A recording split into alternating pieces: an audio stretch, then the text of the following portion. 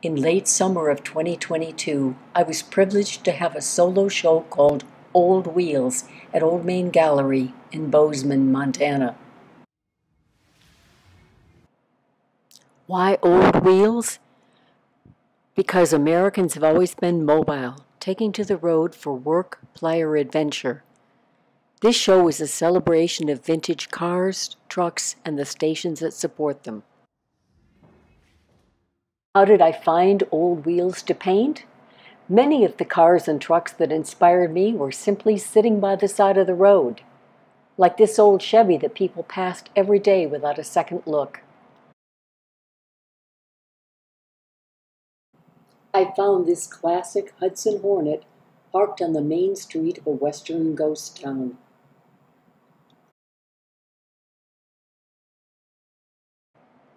And a great old orange truck was parked and all but forgotten beside a motel. Sometimes my husband and I were lucky enough to get access to private collections.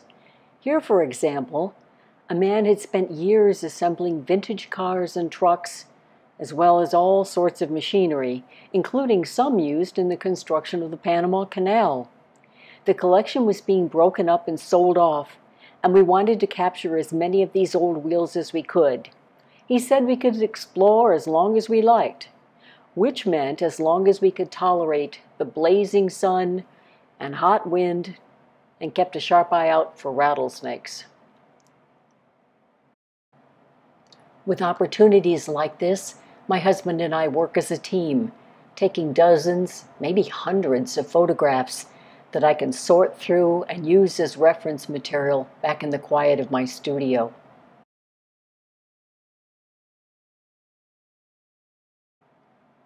Vintage gas pumps are collector's items, and it's rare to find pumps still intact and in place. We found this old station on the plains just south of the Canadian border.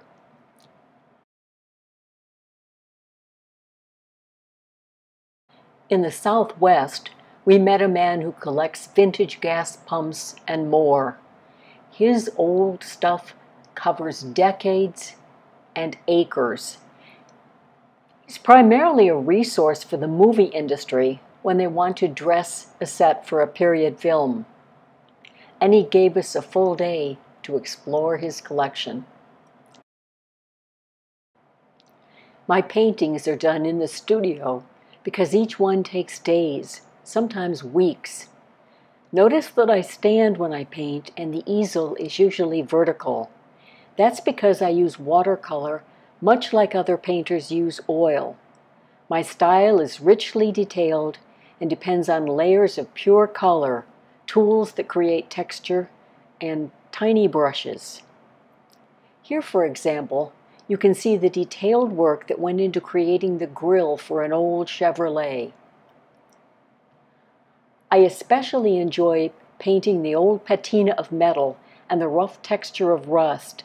My paintings have a texture so rich you can, well, feel it. So let's meet the old wheels in this show. The signature painting for this exhibit was that old truck by the side of the road. In my studio, I transformed it into a to be reckoned with.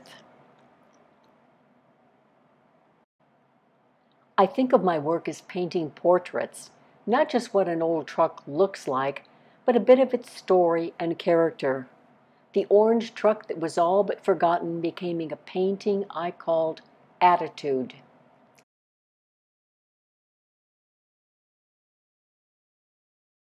Wise Old Eyes was special for me because my own father had an early Ford like this one and took me for drives when I was still too little to see over the dashboard. These old cars and trucks bring back memories for so many people.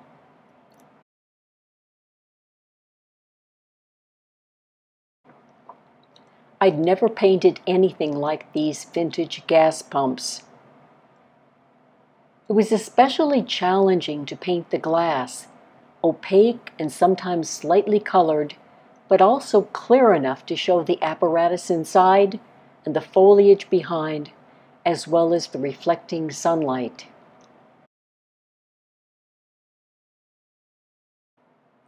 Sometimes just a part of a car will especially interest me. Here, for example, I loved the colorful patina on this worn old license plate. And who can resist an eye? Always a window into the soul.